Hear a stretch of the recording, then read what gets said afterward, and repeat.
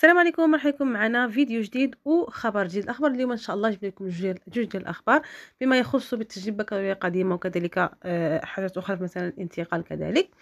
فأول كلية نهضروا عليها هي كلية القنيطرة. فكتقول ينهي عميد كلية العلوم القانونية الاقتصاديه بالقنيطرة إلى عامة إلى علم كافة الطلبه الحاصلين على بكالوريا ما قبل 2022 من مؤسسات تابعة لروافد هذه الكلية. يعني آه، جميل البلايص اللي تابعة لهذه الكلية هذه.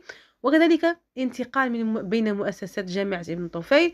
يعني كذلك يعني الانتقال اللي بغى يدفع كذلك.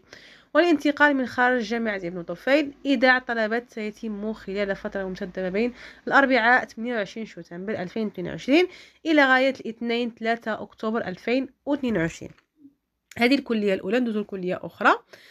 فهذه كلية ديال آه، تطوان. فيعلن السيد عميد الكلية العلوم القانونية والاقتصادية والاجتماعية بتطوان لعموم طلبة الحاصلين لبكالوريا ما قبل 2021 يعني مختلفة شوية.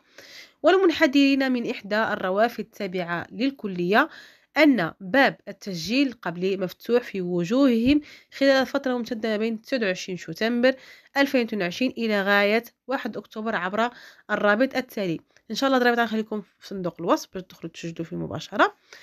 آه وهادشي اللي كاين هادو هما الأخبار اليوم. كتكون كنتمنى أنكم تكونوا استفدتوا.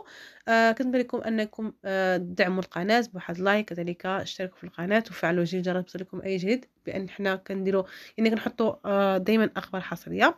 فهادشي اللي كاين بالتوفيق للجميع. والسلام عليكم ورحمة الله تعالى وبركاته.